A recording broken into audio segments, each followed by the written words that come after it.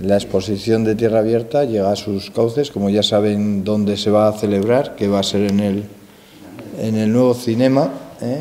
donde ya se han empezado las obras de, derribo para iniciar eh, posteriormente el proyecto que se va a llevar a cabo dentro.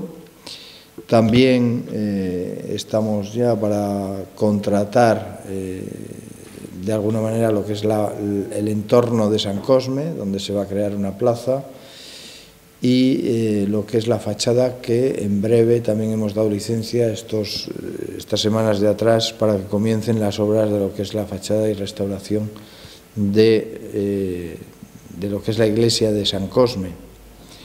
Seguimos con el proyecto de Vico, pero como ustedes saben hay un problema ahí en el camino donde las últimas aguas pues han, han cortado el camino y es necesario pues eh, restablecer ese camino para que las obras sigan continuando, ¿no? puesto que si no, no es posible que accedan los vehículos a lo que es la cripta y a lo que es la iglesia antigua. ¿no?